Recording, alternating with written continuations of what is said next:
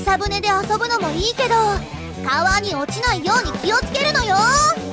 こんなにはしゃいじゃって。お子様なんだから。いいんじゃない？お祭りなんだし思いっきり楽しんでも。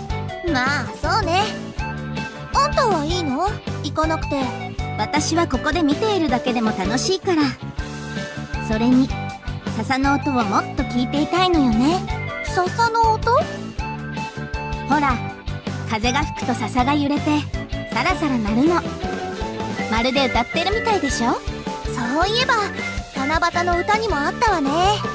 雰囲気があっていいかも。でもちょっと風が強いわね。たまに少し強い風が吹くのよね。あ笹舟と一緒に誰かの短冊が流れてる。風で飛ばされたのかしら。そうみたい。昔は七夕が終わると川に流してたらしいけどさすがに違うわよね。ちょっと風が強いし私たちの短冊もしっかり結び直した方がいいかも。それがいいわね。結び直すついでにもう一つくらい短冊を書いておこうかしら。マキも何か書かない？いいの？別に七夕の願い事も一つだけって決まりじゃないしいいに決まってるじゃない自分で叶える気があるならいくつ書いてもいいんだから。短冊もまだたくさんあるわよ。ほい。ペンと短冊。ありがとう。わあ。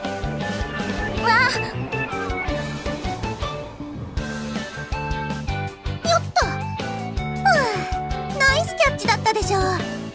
ほら気をつけないとあの短冊みたいに風に飛ばされて川に落ちちゃうわよ。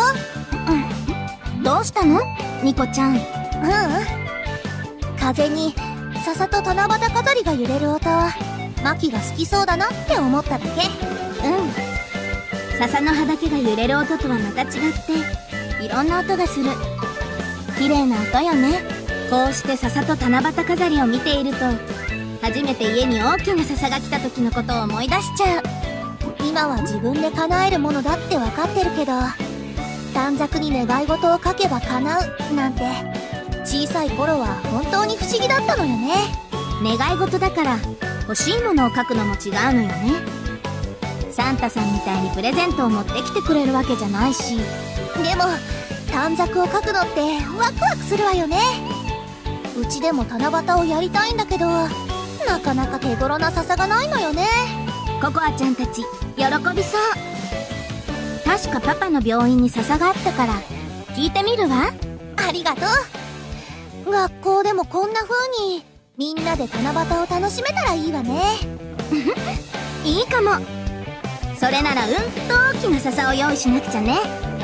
後でみんなに相談してみましょう。短冊書けた？うーん。もうちょっと。もう。さっきもそう言ってた気がするけどいつまで書いてるのよ。あ見ないでまだだって言ってるでしょ？そういうニコちゃんはもう書けたの？当たり前じゃない。ニコニにかかれば短冊の一つや二つなんて一瞬で書き終わるわよ。そうだったの？ねえニコちゃんはどんな願い事にしたの？ちょっと勝手に見ないでよ。さっき私のも見ようとしてたじゃない。わかったわよ。じゃあできるまで目をつむっててあげる。これなら文句ないでしょ？そこまでしなくてもいいんだけど。じゃあ書き上がったら教えるわね。よし書けたわ。もう目を開けてもいいわよ。もうできたの？書き始めると早いのね。集中すれば早いのよ。さ早く飾っちゃいましょう。そうね。じゃあこの笹にとよし完璧ね。ちょっとマキ。しっかり結ばないと風に飛ばされるわよ。分かってるってば。うん。もうちょっと。よし。できたわ。え？ニコちゃん。この短冊の願い事って。あんたのも見えたわよ。まったく。まさか同じ願い事だったなんてね。まさかニコちゃんも同じことを考えてるなんて思わなかったわ。どういう意味よ。